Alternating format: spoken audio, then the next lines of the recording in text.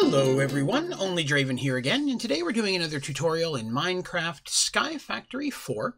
Today I'm going to be showing a couple of different ways to take experience that you've gathered while playing in the world and convert it into a storage uh, so you can store experience in a location if you're losing all of your levels should you be killed while out adventuring. Um, also allowing you to transfer that experience to other people or into a physical location. Uh, so if you find this video helpful and you like it, please be sure to click like. But most importantly, please remember to hit that subscribe button. That way you can see all my videos and tutorials as they come out. Now, today's video, I'm actually going to be filming here in a um, survival world, uh, just so it's easier to see an experience bar. Usually I film in creative just because it makes it easier, but there's really no experience in creative that's visible. So as you can see down at the bottom of my screen, I have 40 experience levels. I've gone ahead and gathered up a little experience just to go ahead and show how this works. Now, there's a couple different things we're going to be using today. First one is going to be an experience pylon. Make an experience pylon, you need two vines, a hopper, two lime dye, a fire charge, two nether brick, and a gold ingot. And that will make you an experience pylon. Next, we're going to be using an XP drain singularity tank. That's going to be one iron bar, one hopper, two Eye of Ender, and one singularity tank. And the last thing we'll be using is an XP tap, which is one block of obsidian and three iron ingots. So let's show how these work. I'm going to go ahead and I'm going to start with the XP singularity tank. Basically, you're just going to set that down and if you stand on top of it, you can watch my experience, it's going down. The experience is transferring from me into this tank beneath me. So let's show that a little bit easier here. You can see the XP is just filling up inside of the tank that I'm standing on. Okay, so you hop back off, that process will stop, and now I have experience in this tank. So how do I get it out? There's a couple different options. One is a bucket. If you have a bucket and you just right click on the tank, you will get yourself a bucket of experience. Very easy. Reverse that by putting clicking again with the bucket. That'll put the experience back in. So if you have a different mode of already um, creating liquid experience, this is a way of taking that experience, putting it into a tank so you can get it back into yourself.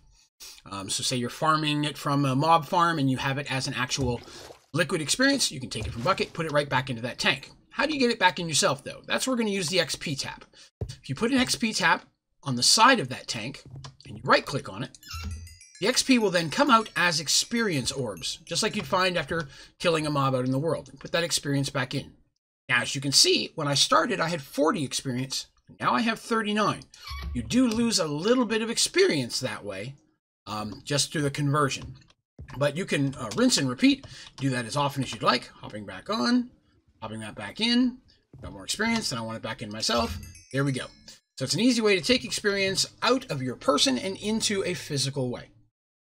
All right, so the second option we're going to look at is an experience pylon. Experience pylon is also very, very handy, especially when building a mob farm. You drop an experience pylon down, it does not need any type of RF source. Neither of these require power. But if you right click on the pylon, you're going to see that right now it has zero experience up to a maximum of 500,000. Sorry, 50,000. Wrong number. Um, you can have where it's always on or requires redstone to work. And right now it's on collect orbs. So if I had this and something died near the pylon, it would take those experience orbs uh, from the ground and put them into the experience pylon. You can change that to spray orbs, which will instead spit the orbs back out of the pylon, just like the drain did on the tank. Now, if I want, as you see, I have my experience. If I hit plus 500, that's going to drain experience from me and put it into the pylon. Click on that. You can see the experience down in the tanks, 25 of 50,000. There's a little bit in there because I didn't have a whole lot of experience on me. This will hold a lot of experience. To take that experience back out and put it back into myself, I just hit the negative 500, and that will put the experience back into me, taking me back to where I was before.